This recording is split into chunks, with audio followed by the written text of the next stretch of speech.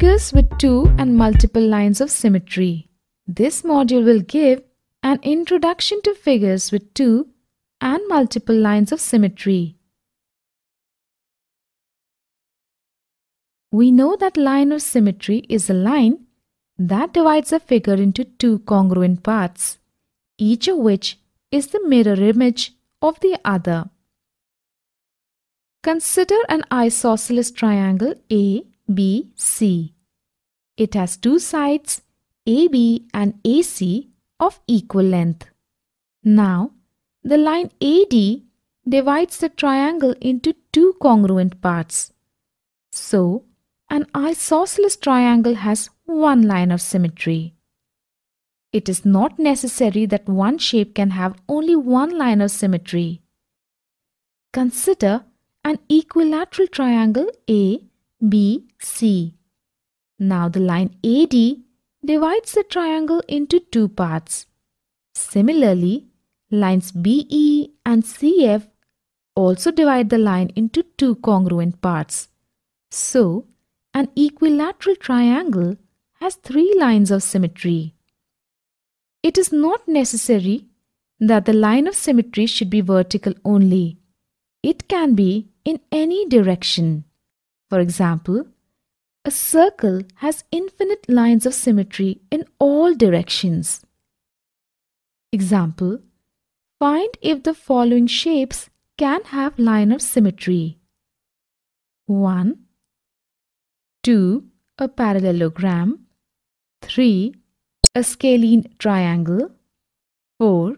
An irregular trapezium Explanation 1. The shape has line of symmetry as shown here. 2. A parallelogram has two lines that divide it into two identical halves. These lines are its diagonals. Hence, the parallelogram has line symmetry. 3. A scalene triangle has all sides of unequal length. Since there is no line that divides the triangle into two identical halves, it has no lines of symmetry. 4. An irregular trapezium has all sides of unequal length. Since there is no line that divides the figure in two identical halves, it has no lines of symmetry. Example Draw line of symmetry in the following figure. Explanation. We can draw the line of symmetry as shown here.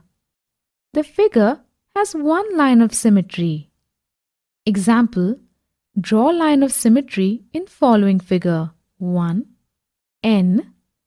2 H. 3 C. 4 Z. Explanation we can draw the line of symmetry as shown here. 1. N has no line of symmetry. 2. H has two line of symmetry. 3. C has one line of symmetry. 4. Z has no line of symmetry.